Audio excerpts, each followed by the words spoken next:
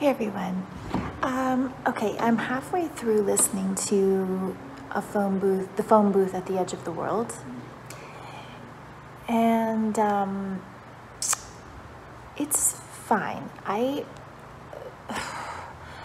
I feel like I'm having the same issue with this that I had with how to, excuse me, how to order the universe, uh, which is also in this category, and that is that it's there's some sweet moments, there's some poignancy to it, um, but it's not grabbing me and really pulling me into the story. I'm feeling very on the surface of the story. Um, so we're following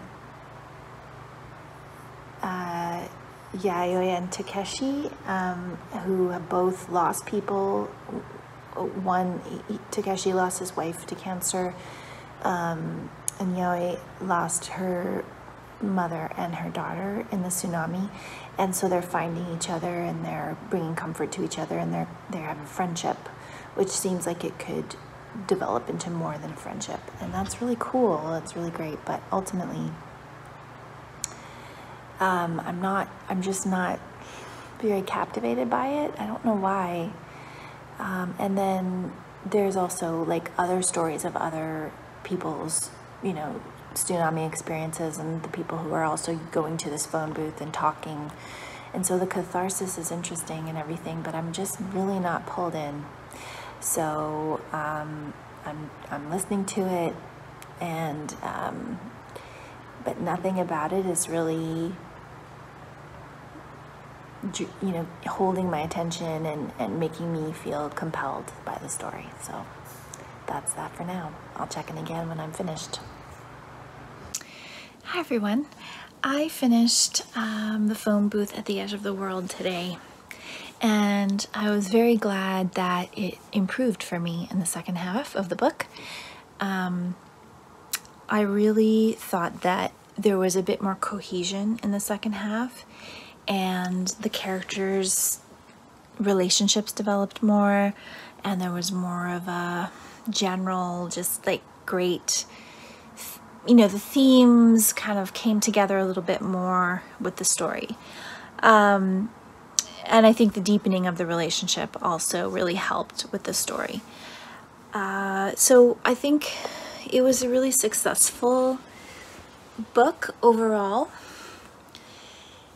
but there were still things about it that kind of annoyed me and i feel like it actually has a similar um, vein to it to how to order the universe in that there's this really strange new trend in books. It's really not something i've noticed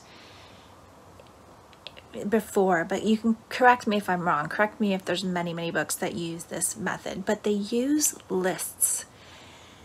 And the chapters in this book are very, very short, and there's kind of like longer chapters with more content, and then kind of these little vignette chapters that are really just little asides. And I think they're meant to be charming and they're meant to add context to the pre some the previous scenes in some of the other chapters. But a lot of the time they took me out of the story and they separated me from what was actually happening.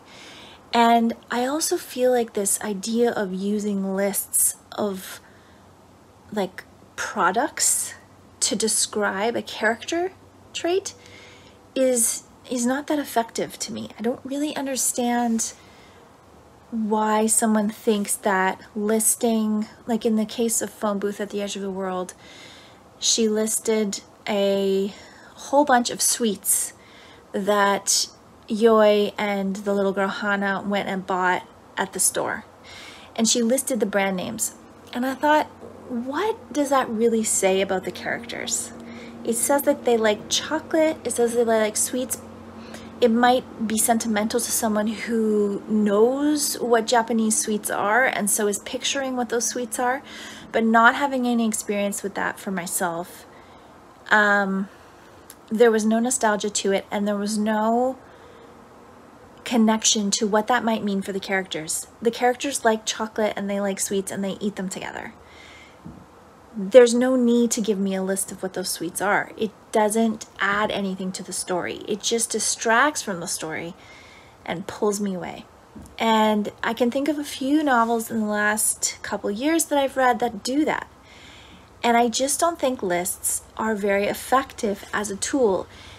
If it's describing, if you're trying to describe a character and use like all that the, the character packed in their suitcase was a pair of shoes and a sweater and a toothbrush or something like that. You're trying to show that this character is very minimal, that they're very simple, that they only need the basics. I understand the idea of making a list, but to take a list out of the context of the story and put it in its own little chapter and say they went to the store and this is what they a list of what they bought at the store. I just find that really not effective as a tool and it's being used a lot by I don't know if it's a certain generation of writers who really identify with like a certain type of products. Like they like the nostalgia of products so they want to list them. Like I want to talk about you know breakfast cereals that I ate when I was a kid. So I'm gonna say Froot Loops loops and frosted flakes and cocoa puffs or something. And it's going to tell everyone you know it's going to connect these people to this character. And i'm like i don't think it does though. So anyway that's just a little pet peeve that came up when i was reading this novel. And it's something that i've noticed in a few novels recently. Um, overall i thought it was a lovely book it did move me quite a bit at the end um, because I think the messages in it of of finding love again, of finding healing after grief, after like the worst imaginable grief was was really quite well done. Um, and it is a real place and it is a place of healing. And the author put in a note at the end to say you know don't go here as a tourist. Like this is not a place to take photos on your vacation. This is a place of healing and please respect it. Um, yeah. So i thought it was good. I, it's it, it it's not better than the art of losing. Um, so the art of losing is still number one for me right now um, and uh, now i'm going to move on to I think I'll move on to the Brickmakers soon. It is, um, I put it on hold at the library and it is coming into uh, into the it, it's in transit right now almost at the library so I think I will read it next but um, you're not going to know this because this is going to end and then you're going to see me reading the next book but there's probably going to be several weeks in between because um, I've got a couple books that I want to finish in August that are for my summer TBR and then I will read the last two books that I need to read for the BookTube prize. So there'll be a bit of a pause. You're going to see me reading those other two books in a couple weeks and I will see you then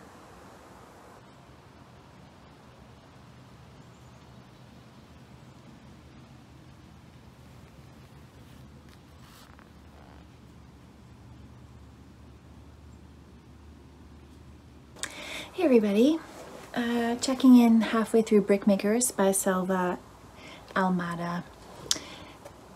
Uh, so I opened this uh, feeling a little bit worried because it was very violent and um, unsettling uh, at the beginning.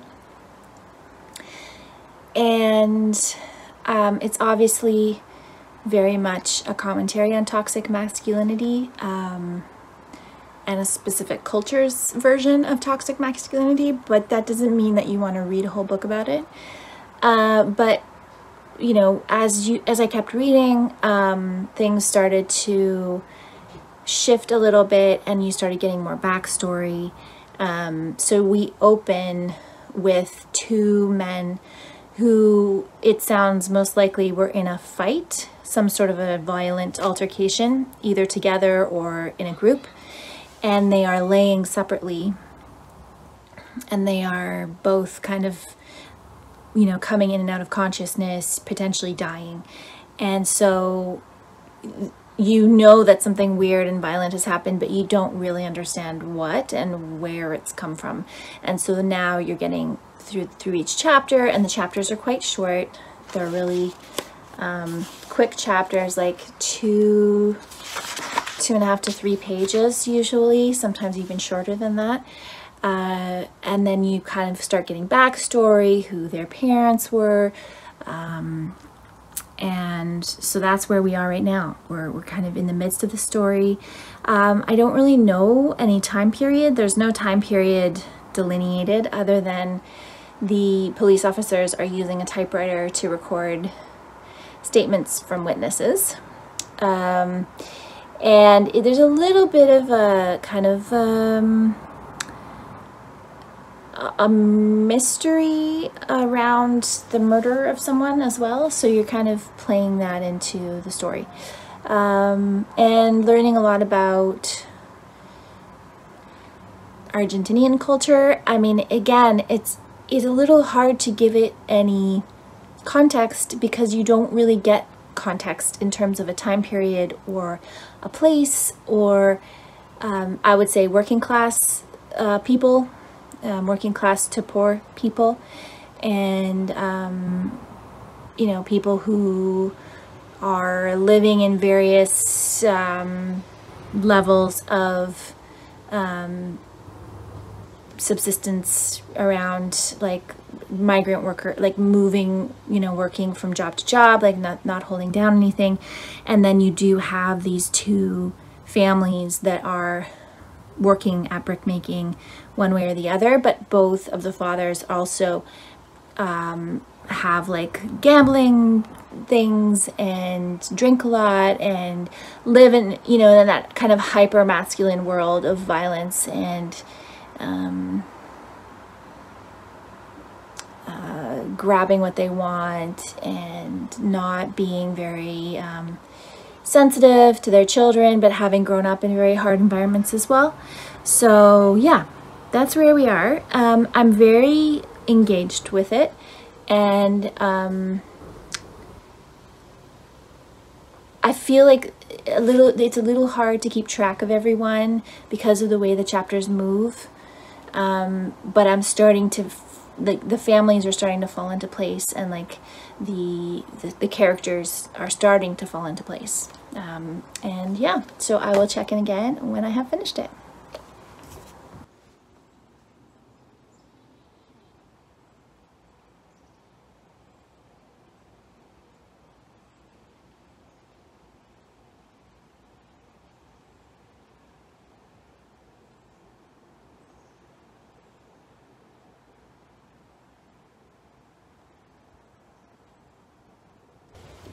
Hey everybody. So I finished Brickmakers by Selva Almada, translated by Annie McDermott. And uh, it was quite a book. I I think overall I enjoyed the exploration of working class rural living in um, Argentina. And I think that the themes were um, well constructed and, and interesting um, kind of toxic masculinity and the suppression of homosexuality in that culture. Um, and um, yeah, you know, I was intrigued by it. I was um, drawn along through the story. Um, but to me, if you're comparing it to some of the other books in this in this um, category in this in this um, final round, um, it didn't give me enough to uh, surpass um, my top ones, and I wouldn't say that it's as good as um, some of the other books I read in the in the semifinal. So, you know, I I um, I'm glad I read it. I think um,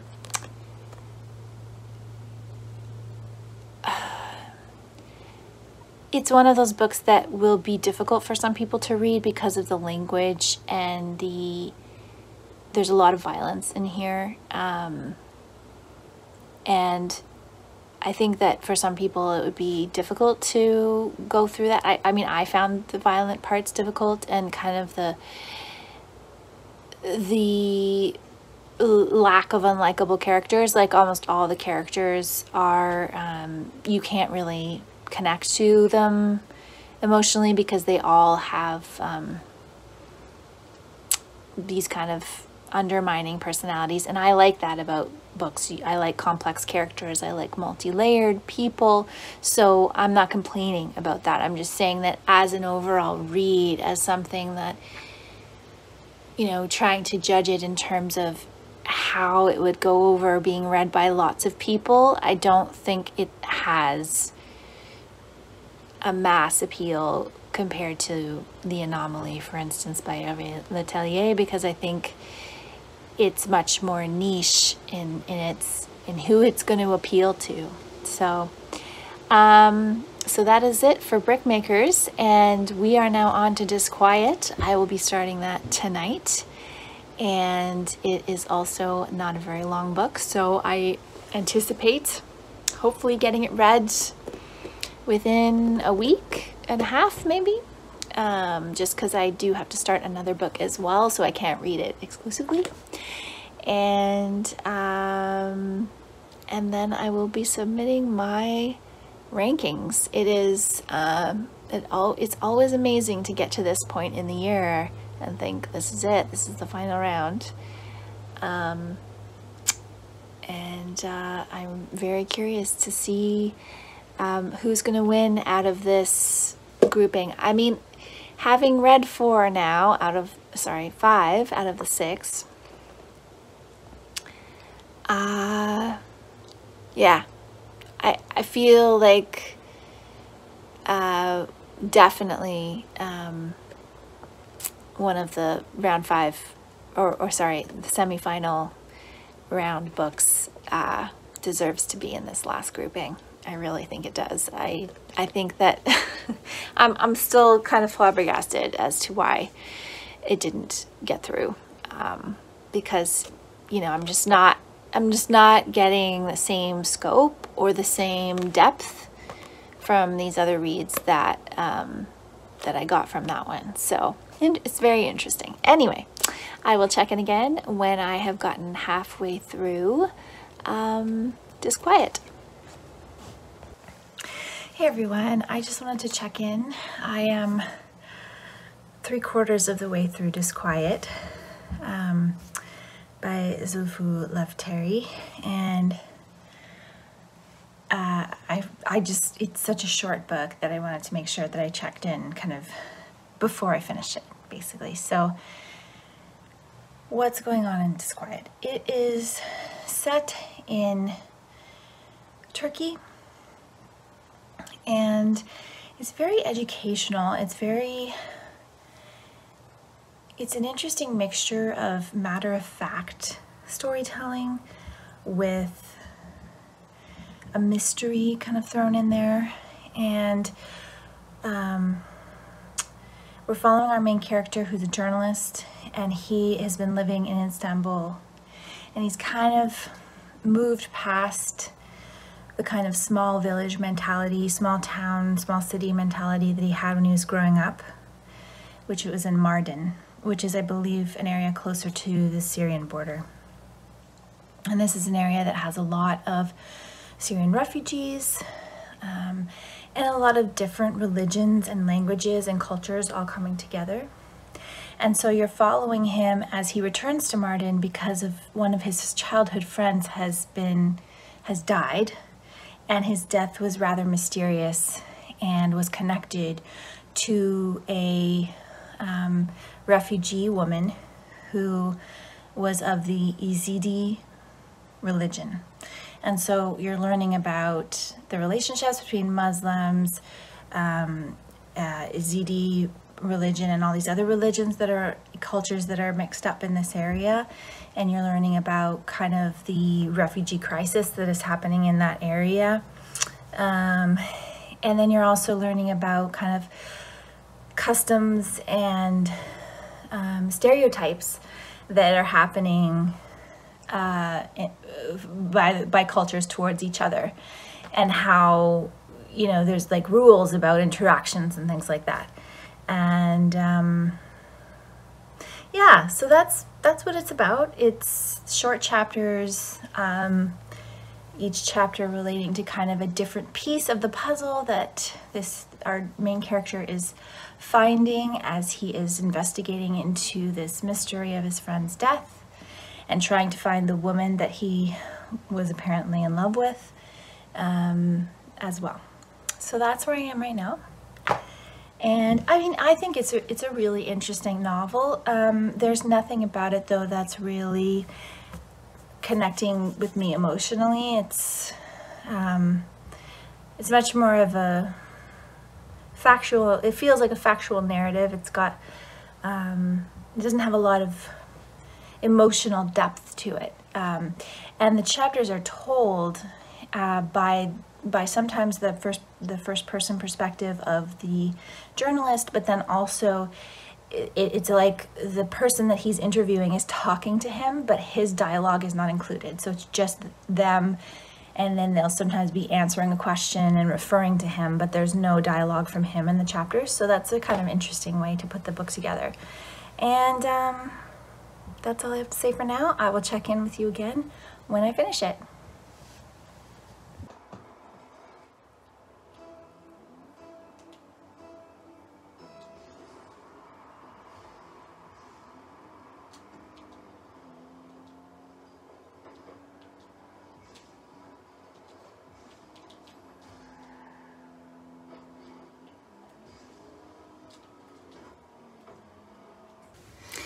Everyone.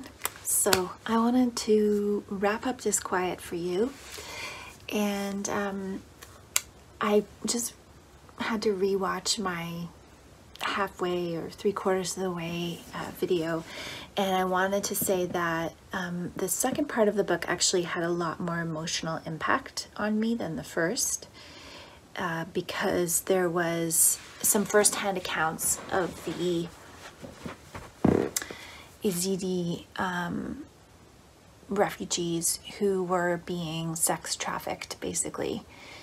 Um, and so some of those firsthand accounts were very, very harrowing, but also very emotional and offered some layers to the story that I thought were very compelling. Um, there was one part near the end that got a bit weird and that is when the journalist finally found this woman who his friend had been engaged to. He became obsessed with her and was kind of that was very uncomfortable for me um, because I felt like I, I think I understand why the author put it in the story. He was trying to illustrate this kind of savior mentality that comes over people when they are around someone that has gone through probably like a harrowing or, or traumatic experience, people can get very, um, like they want to help so much that they, they overcompensate and they, um, they force their help on people and you can't do that. It, like you can't force someone to take your help or to want to be helped by you. Um, so, so that was a really uncomfortable moment in the story, um, but I understand why he said it because I think that's probably something that happens quite often to um, people who have gone through trauma who um, are trying to find a way through it themselves and trying to deal with it, and then someone else will come in and impose their kind of savior you know, complex onto this other person who, you know, does not want that. So um, that was really interesting. Um, and uh, overall, I learned a lot reading the book, and um, you know, I, I, think it was, I think it was a well put together story that um, spoke to a very specific moment in a very specific place and time and group of people and groups of people, multiple types of groups of people. So uh, yeah, overall it was um, a good book. And um, I am going to end this vlog here. If you are interested in learning about the order in which I put uh, the finals for the translated fiction of the BookTube Prize, you can um, tune into my rankings video for that. So thank you so much for watching and I'll be back again soon with another video.